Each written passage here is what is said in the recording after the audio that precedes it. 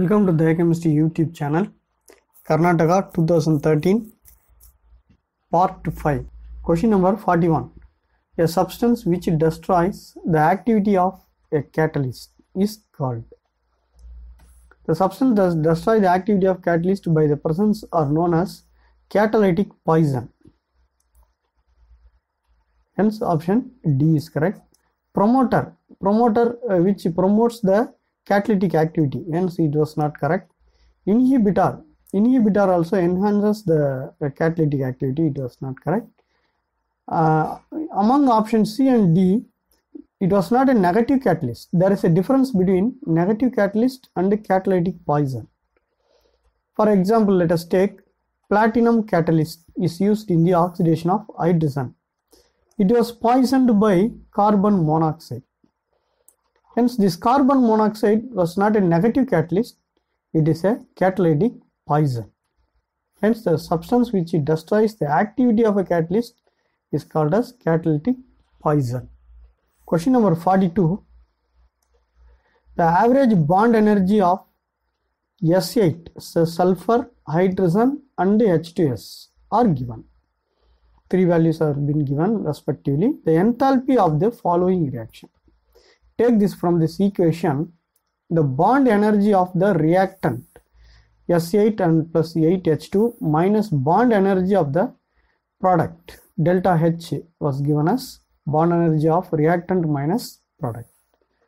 So let us take bond energy of S8 from equation bond energy of S8 reactant is 264 plus 8 into H2 8 into 436 the bond energy of H2 minus 8 into H2S 8 into H2S that is 338 which gives 1048 kilojoule per mole. Option C is correct. Question number 43. Match the following spectroscopic technique with the regions in the electromagnetic spectrum. Vibrational spectroscopy is IR. Electronic spectroscopy which related to ultraviolet and visible region. Mössbauer spectroscopy which was related to gamma radiation and NMR spectroscopy we use radio waves radio frequency region hence it is option A is correct. Among the following diatomic molecules which one shows EPR signal? Here lithium. Lithium will not show EPR signal. Carbon does not show EPR signal because it, this both does not contain an unpaired electron. Nitrogen it's a n triple bond n. This was not also shows any uh, EPR signal whereas boron it contains uh, two unpaired electron it shows EPR signal. Boron is a electron deficient compound. This shows boron shows EPR signal. Question number 45. Among the singlet, doublet and triplet electronic states, phosphorescence involved in the transition between.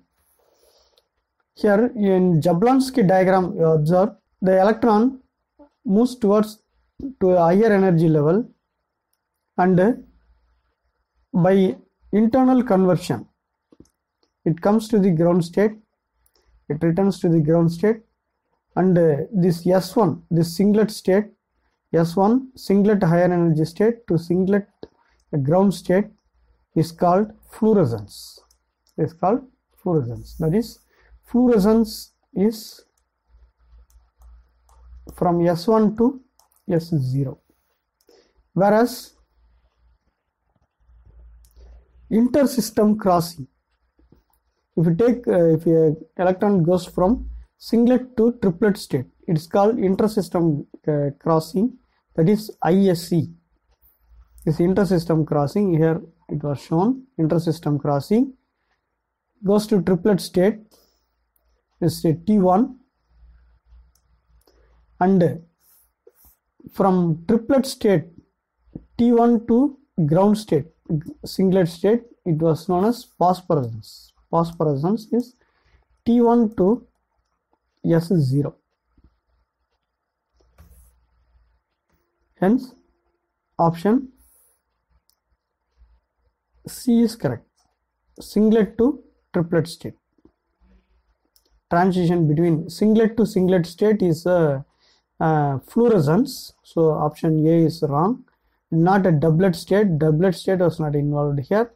Triplet to triplet was not involved here.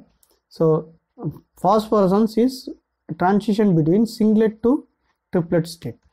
Option c is correct. Question number 46 the number of normal modes of vibration of carbon dioxide water and acetylene is. Carbon dioxide is a linear molecule. It's a for linear it's a 3n minus 5 in carbon dioxide there are three molecule three atoms. So 3 into 3 minus 5 which is 4 carbon dioxide shows so four modes of vibration. H2O it's a non-linear molecule. It's a 3n minus 6 3 into 3 minus 6 that is which is 3 H2O shows three modes of vibration. Whereas in acetylene it's a linear molecule. Acetylene is a linear 3n minus 5 n is there are four uh, number of atoms. So 3n minus 5 3 into 4 minus 5 which is equal to 7 hence 4 3 7 is the correct answer. 4 3 7 option b is correct question number 47 of the three types of systematic errors encountered in a chemical analysis which is most difficult to identify to correct?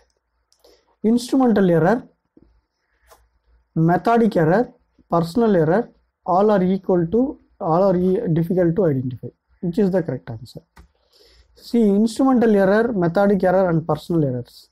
Methodic errors are due to no ideal physical or chemical behavior. Completeness and speed of the reaction. Interfering side reactions sampling problems. Can be corrected with a proper method development.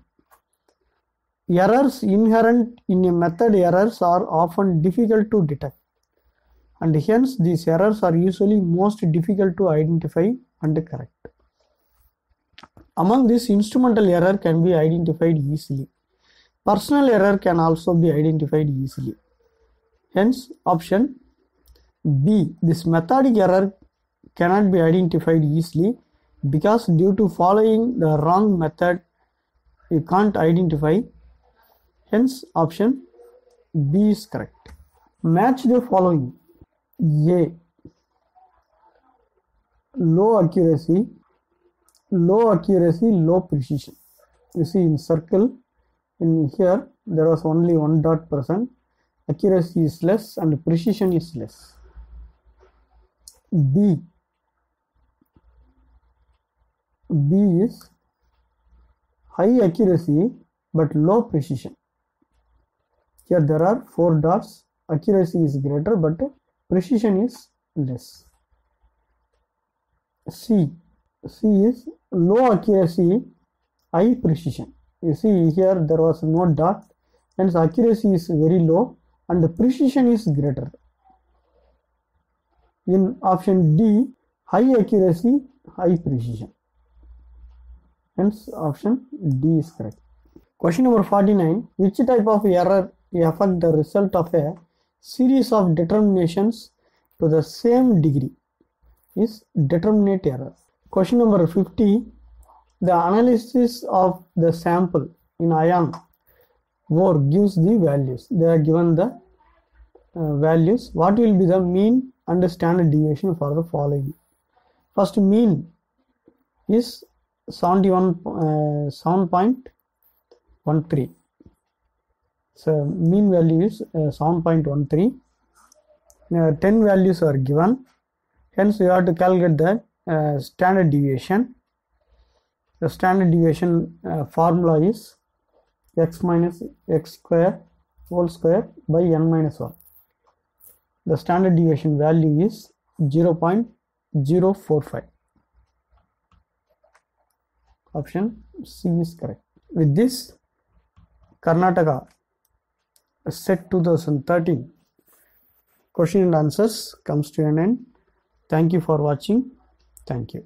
We will meet in Karnataka set paper 3 chemical science.